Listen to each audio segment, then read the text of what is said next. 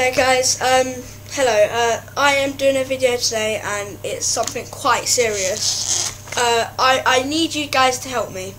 So I've set up a Just Giving account, the link will be in the description. Um, and I'm doing it for Cancer Research UK. This is because I, I've had,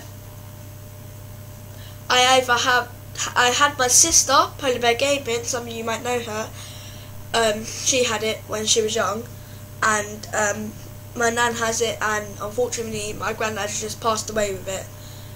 So, yeah, I want to raise some money, but my goal is hundred pounds. I know it may not seem a lot, but if you guys tell your friends about it, your family, your mum, your dad, your brothers, your sisters, your auntie, uncle, granddad, nan, or anyone who has had cancer who will is willing to donate, please tell them, please. Um, I would love it if you guys can please donate 1p to £1 to £100. It all makes a difference. So if you give 1p, still makes so much difference. And it will make me happy.